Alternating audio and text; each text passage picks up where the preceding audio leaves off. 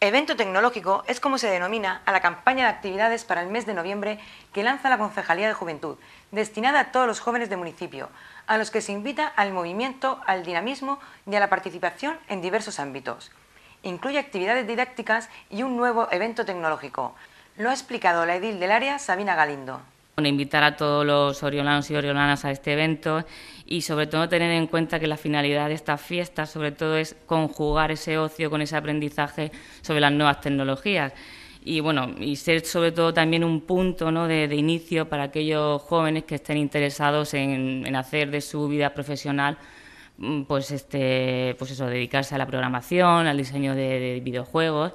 Y nada que la concejalía de juventud pues pone a su disposición este, este evento la inscripción para las actividades se puede realizar a través del teléfono fijo 96 673 8044 y del móvil 625 35 57 17 para todos los jóvenes que quieran solicitar información. También pueden solicitar información en la sede de la Concejalía de Juventud en la Casa Casinello, en la calle Soleres número 6. Dentro de las actividades programadas, el viernes 27 de noviembre, de 4 de la tarde a 10 de la noche, tendrá lugar la apertura de la zona de consolas y un espacio habilitado para conectarse a Internet con los PCs o consolas que los usuarios quieran traer al evento. Y el sábado 28 de noviembre, en el mismo horario, habrá una charla relacionada con las nuevas tecnologías.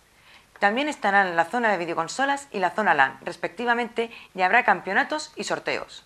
Se prevé que en esta zona haya una capacidad de hasta unos 500 usuarios puesto que las partidas de videojuegos pues más o menos durarán entre 8 y 10 minutos. Eh, luego además habrá otra zona habilitada eh, para conectarse a Internet con los propios ordenadores y, las consolas y bueno, se van a habilitar pues eh, unos, mm, para una capacidad de 25 usuarios. Luego además en lo que es la parte de la, mm, del auditorio se, harán, se celebrarán charlas eh, sobre las nuevas tecnologías, eh, sobre seguridad y buen uso de Internet. Y bueno, también pues eh, las inscripciones se pueden hacer, se realizarán a través de teléfono fijo y móvil.